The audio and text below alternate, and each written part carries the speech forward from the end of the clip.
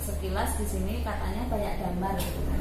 pemerintah dan alat yang dilakukan oleh uh, masyarakat kita yang ada di sini. Jadi, Jadi, apabila itu sudah sudah kita laksanakan sosialisasi, komunikasi sama beliau-beliau dan dilanggar tidak, ya itu berarti kan di luar tanggung kita.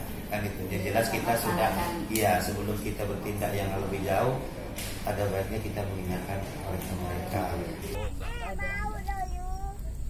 Batu ambar Batu ampar. daerah sana deh itu yang ambil Pokoknya kalau keritang, batu ampar itu tidak bisa bu. Orang itu kami sini pandai juga cari damar gitu ya. Itu bilang ya. orang itu udah orang luar di data orang itulah Iya. Orang tuh mau tokeh di situ, carinya pun di situ. Awalnya pun di situ juga tokeh di sini, cari pun di sekitar sini. sekali dapat 50 Sama 50 kilo itu per berapa hari? Setiap hari hari. Ke dalam terus setiap hari. Dapat 50 stabil gitu ya. Akhirnya kita nggak sampai ya di lokasi ya. Karena keadaan sepeda motor nggak nyampe. Nggak mampu untuk sana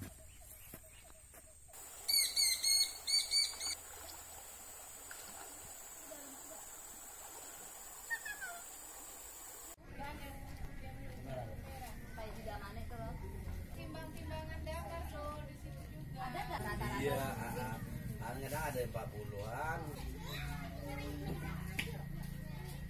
masalahnya kata katanya kalau si Penny bilang orang Sungai Akar nggak boleh narik ke Jadi sebelah ini ya betul. nggak boleh ya Iya. kan nah, berarti kan Antara ada kaw- kawasan dia gitu kan. oh, tapi bisa menampung Iya dari bisa. luar Ini damar apa dah? hutan. hutan ya Iya. Eh, ya Allah kayak gini aja berat ya ini Kalau berapa yang kilo ini kelulut yang ini bu. Ini yang kelulut. Nah ini yang oh kelulut. Ini kelulut bang kayak batu aja ya Ya, dia nih bilang damar sarang, dia di tanah aja nih. Kalau udah dicari, tidak ketemu dia nih bu. Nah ini sama aja nih. tapi harganya sama ya Sama, Bu. Ambil mana ya? ya kalau batu ya berat ya Mana ada? 50 ki segini 50 50 segini Kemarin pernah nih bu, tapi udah dijual nih. Iya. Pernah kemarin satu apa? Satu biji itu 30 lebih. Dua eh 20 kilo. ya? membayangkan apa ke hutan kalian ke hutan bawa ini kan dengan jalan seperti itu loh Nah, itulah, Bu. Yang, yang saya pikirkan untuk masyarakat di sini bagaimana supaya nggak ke hutan gitu kan. Apa Iya. kegiatan dia yang ada di Singakar kan gitu ya. saya nggak usah jauh-jauh sampai ke Ah, dalam gitu iya. Gimbang, Bu. tapi zona rehabilitasi pun jauh juga ya bang setengah kilo eh kilo empat kilo oke nih Pakai baru. empat kilo ya ini berat ya bang Nah ini lagi yang berat. jadi kalau eh, seharian ngambil kayak gini ya Kadang malam-malam nih Bu orang pulang. Ada yang kembali jam 9 malam. berapa Tapi sekilo bapak beli pak 2500. 2500 Iya. pak kira-kira damarnya sampai berapa lama boleh ditahan Nah, Bu, kita dulu informasi dari sana juga kan. Iya. Ini acara nih dari siap bulan baru baru dua kali ngangkat. Ini sedikit-sedikit gitu kan, cuma buang sama pandi aja. Biasanya kan buang langsung gitu kan. Dengan harga ini Bu suruh naik gitu. udah di sorter nih Enggak, Pak. Ini kan main ayak ini, Pak. Jemur dulu kan. Jaya Jemurnya di mana? Ini, Pak, di sini. Di situ? Iya, putar palingnya. Dia awalnya dijemur terus diapain dia Jemur. rambutnya apa kayak di ayat tuh pakai apa kan Itu, besar Pak. Ada ayaknya tuh. bukan kayak beras Enggak. Nah, itu. Ini kan nanti serbuknya kan sini. Nah, baru tabung pakai karung gitu. ini ini alat pengayaknya ya pak ya Iya, itu alat pengayaknya. Wah, sederhana sekali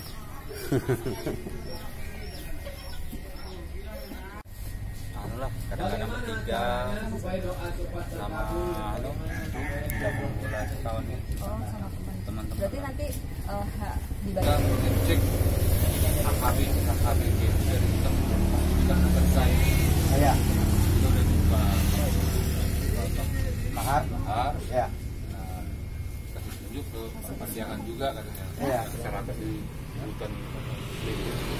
Salah satunya Damar. Damar.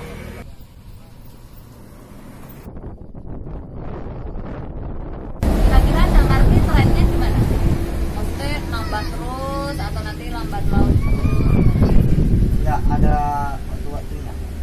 Di bulan-bulan seperti ini biasanya kurang. Jadi kita menemukan 1, 2, 3, 4, 5, 6, 7 Delapan, delapan. 8, 8 Delapan karung. isi damar Nah ini kemungkinan pemungutnya Kemungkinan mungkin dia masuk ke dalam yang lebih jauh Dan nunggu dijemput Ya kan? Koordinatnya S 00 derajat Ini posisinya bulat sekarang ya? bulat. Aktivitas masyarakat sedang mengut damar ya Ya, kita lanjut ikuti tim damar ya. Tim jejak damar Ah, siap.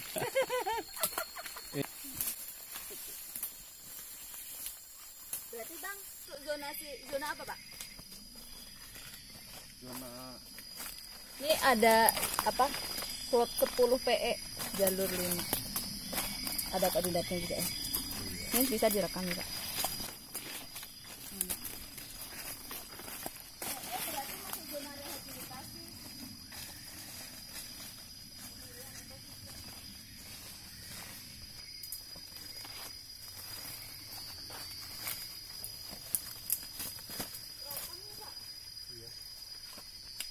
Kulitnya Loh, besar banget ya. tapi ini kejadian sudah lama ini Dari tadi kita kan banyak seresah ya kan tebel. Kok giliran sampai sini jadi terang? Itu kenapa ya? oh ini eh, sarangnya burung kuau. Oh, yang di hutan itu yang suaranya iya. Heeh. nah, ini sarangnya nih Sarangnya atau tempat dia Tempat dia- main-main menari gitu? main-main mengempaskan Heeh, heeh. Sayapnya. Inilah dia. Kan sekelilingnya bersih ini. Berarti kemungkinan dia sarangnya ada sekitar sini ya? kita belum pernah menemukan sarangnya tapi yang selalu kita temukan seperti ini. Dan ini kita selalu bilang sarangnya aja. Iya, oh gitu. karena dia kalau bersarang di pohon kayaknya agak susah karena Sayapnya. ekornya panjang ya. Iya. mungkin seperti itu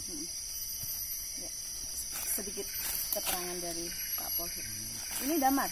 bekas damar Oh ini mungkin yang jatuh-jatuh ya? ah ini kita menemukan pohon yang menghasilkan damar Oh, ini ya. tengoklah mulai dari atas Nunggu besar kira-kira butuh berapa lama ya? Tahu. Oh, ini agak lama juga bu Oh, ini masih baru ya? dia kan semakin lama dia kan banyak banyak banyak menurun ke bawah mulai dari atas tuh Oh iya. Oh iya, iya. heeh. Iya, putih-putih ini ya. Coba lihat di sini, Pak. Oke. Ternyata ini adalah salah satu pohon induk mungkin ya. Pohon Jelas. induk, jelas penghasil penghasil damar. Ini juga itu dan eh, ini ini juga. Ini juga damar, Pak. iya Iya. Damar juga ya? Iya. Oh ya, ini habis diambil ya. Oke, ini kayaknya masih ini masih netes terus oh, ya masih netes terus ya. Asal dia nggak ditebang, tetap akan menghasilkan Iya. ya kan. dia pohon hidup dia Ini P2, ini belum tahu ini mungkin teman-teman teh yang tahu kode-kode ini. Kemungkinan ini adalah salah satu plot. Karena banyak banget apa tempelan kode-kode di sekeliling 1 2 3 4 5 6 7 ya 8 yang besar itu juga. Lain aromanya. Kenapa? Hmm. oh iya ya. Baunya kayak lem gitu itu ya? Iya. tapi lem alam masih fresh dari alam. Bukan lem-lem yang hasil dari pabrik ya. Sekarang kita akan mengambil koordinat untuk pohon ini. Karena kemungkinan ini juga akan jadi sasaran pemungut damar selanjutnya ya kan pak ya? Iya. pasti mereka sudah nandain oh ini mungkin nunggu beberapa bulan atau beberapa tahun lagi untuk bisa dipungut damarnya. Eh, pohon yang menghasilkan damar. Jadi, dan kita tadi menemukan hasil pengambilan damar ada 8 karung punya masyarakat. Kebetulan masyarakatnya tidak ada ketemu di dalam hutan. Jadi itu dulu penelusuran kami dan ikuti terus jejak tim Damar. damar. Yes. Ya, foto di belakang. Oke. Sip. Langsung slow motion.